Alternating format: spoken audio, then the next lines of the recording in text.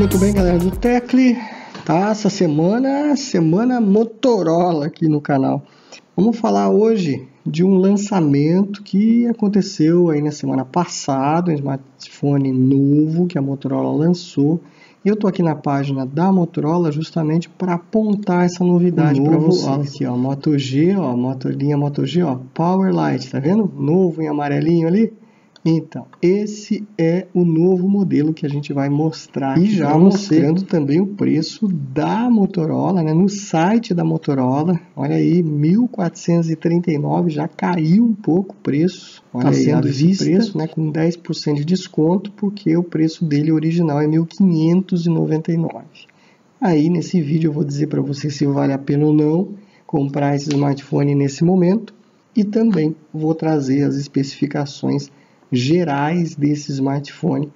Os básicos estão aqui, mas tem uma ficha técnica muito maior que você vai conhecer nesse vídeo. Clica então, aí embaixo no se inscrever, tarjinha vermelha ali, inscrever-se, se inscreve aqui no canal, compartilha esse vídeo aí com seus amigos e amigas, porque a gente traz aqui sempre, toda semana, agora com um pouquinho mais de frequência, conteúdo a respeito de smartphones, né, assuntos aí ligados a esse mundo maravilhoso da tecnologia vamos mobile, lá, né? sem churumelas, falando a respeito do Moto G8 Power Lite. Primeiro, vocês estão vendo aqui que ele tem só uma opção, 64 né? GB de memória interna é a capacidade dele, então é uma boa capacidade. Smartphones hoje em dia você tem que pensar no mínimo hoje em 64 GB, porque os programas ocupam muita memória, os aplicativos baixam muito e você, conteúdo, fotografando, filmando, vai sempre usar muita memória do smartphone. E 64 GB, eu digo para você que é uma boa memória, um bom conteúdo interno e é legal você ter um smartphone nessa é, com essa configuração, pelo menos. Esse preço, gente, está baixando, tá? Você tem aqui um valor de 1.439, mas você vai encontrar nas lojas, esse é o preço online da Motorola. Nas lojas você vai encontrar ele com toda certeza aí na faixa dos 1.200 já.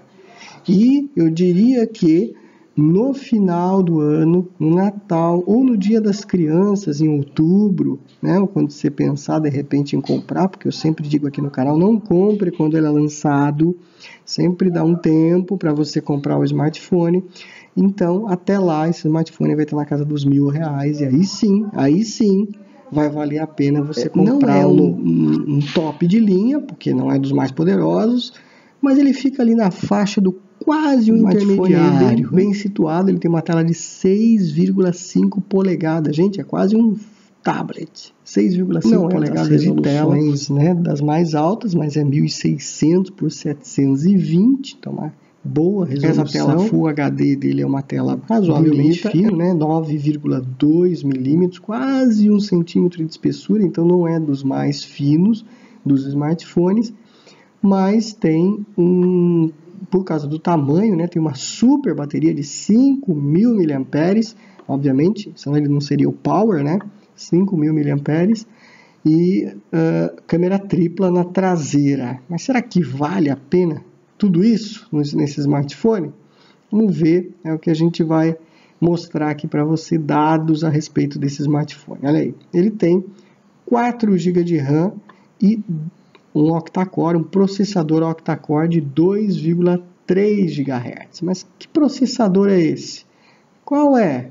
É um MediaTek, é isso mesmo. Não é um Snapdragon, é um MediaTek, um MT6765. São quatro núcleos rodando a 2,3 GHz e outros quatro, que a própria Nokia não mostra aqui, rodando a 1.8 GHz. Então, né, é um octa-core, tem uma GPU para vídeos e jogos, Power VR GE8320, 4 GB de RAM, como está dito aqui, e 64 GB de memória interna, que na verdade fica na casa aí dos 51, 52 GB, né, porque o restante é ocupado pela memória do sistema, né, que já está instalado dentro do smartphone. Dimensão, tamanho desse bichinho aí que tem essa tela Max Vision aí de 6,5 é, o tamanho dele é de 16,4 centímetros, 7,5 de largura e 9 milímetros de espessura. Pesa em torno aí de 200 gramas E a proporção da tela dele é de 20 então, um bom smartphone aí para você que consome filmes, né? Gosta de assistir aí filmes utilizando o seu smartphone. Então tá aí, é uma possibilidade com essa tela. Ah, essa tela Vision. é uma tela IPS, tá, gente? Não é uma tela AMOLED. É uma tela IPS LCD com 270 ppi aí de resolução, resolução boa. É, as câmeras, então são três câmeras aqui que a gente pode verificar bem legal aqui nesse 16 megapixels é a câmera principal, essa que vai aqui em cima. Depois são mais duas câmeras de 2 megapixels. É isso mesmo que você está ouvindo. Mais duas câmeras de 2 megapixels, que é uma câmera macro, né? Que normalmente se usa aí para fazer efeitos. E a outra câmera que também é utilizada aí para vários com o software que vem com Além disso, olha que legal, o conteúdo da caixa dele traz um o smartphone vem uma capinha protetora, que é o que a, a Motorola vem fazendo em boa parte dos smartphones, já traz a capinha. Tem o kit manual, fone de ouvido estéreo, que é até bom, bom para ele, apesar de ser daqueles intraauriculares, que eu particularmente não curto muito. Um cabo de sincronização, claro, né, tem que ter. Carregador vai carregar aí o smartphone aí em, em torno de uma hora e meia, duas, em média. Né, então é o tempo aí que você vai utilizar. O Bluetooth 4.2, eu esperava um Bluetooth aí um pouquinho mais moderno para ele, né? Já tinha que ter vindo com 5, mas enfim. A câmera frontal tem 4 mega, 8 megapixels, ó, a câmera de selfie, né? 8 megapixels com abertura 2.0, também tem um flash, mas usa flash da tela, específico, não é flash né? para ela, é um, acende a o tela GPS inteira, bem completo, GLONASS, Galileu, a GPS, ó, bastante sensores aí para você poder se localizar facilmente. Obviamente que tem um leitor de impressão digital, sensor de proximidade, acelerômetro e o giroscópio. Aí, tá aí, tem giroscópio nesse smartphone, o que é bem legal. gosta aí de utilizar velho e bom joguinhos, né, que utilizam a bateria. A gente já aí. falou dos 5.000 mAh, claro, por isso ele é um power. E entre outras características que eu acho que a gente pode destacar também nesse smartphone é o fato dele ser grande. Ele é alto, fino e alto, né? A gente já falou aqui do tamanho dele, são 6,5 polegadas de tela então, smartphone grandão. Se você gosta de smartphone grandão, tá aí uma possibilidade. Se você é daqueles que acha que smartphone muito grande já começa a incomodar, já no, no bolso não encaixa direito, já começa a ficar muito pesado para pôr dentro da bolsa.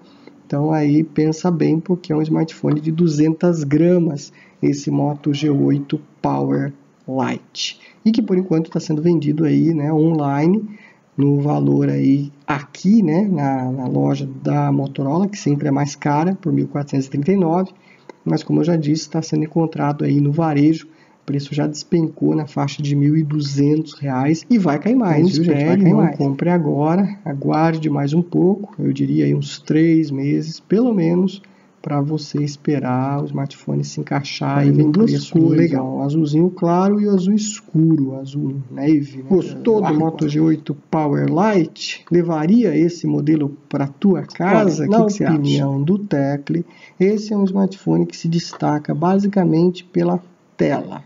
É isso, ele tem um e, telão claro, uma grande bateria, mas é com essa tela desse tamanho, a bateria também, dependendo do que você consumir, não vai durar dois, três dias, vai durar um dia e meio. Não e tem lá. processador dos mais rápidos, né? É ele tem uma boa capacidade de armazenamento interno, as câmeras são razoáveis. Olha, se ele ficar na faixa de mil reais, vale a pena, mas nesse preço de 1.200, até esse 1.400 aí que a própria fabricante oferece, não vale a pena. Pense bem antes de decidir por Tem esses modelos também do Moto G8, né? Tem o próprio Moto G8 Power, que ele tem uma configuração um pouquinho melhor do que o Power Lite. Eu vou trazer um outro vídeo aqui mostrando a diferença de um para o outro, mas fica a dica se você tanto quer um smartphone com uma boa bateria, então vai de Moto G8 Power, não vai do Power. Então fica Lite. aí a dica do Tecle.